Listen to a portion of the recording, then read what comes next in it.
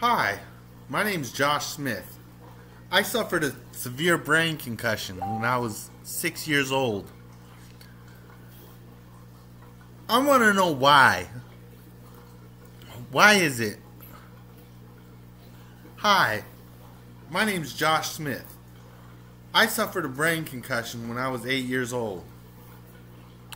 I want to know why. Why?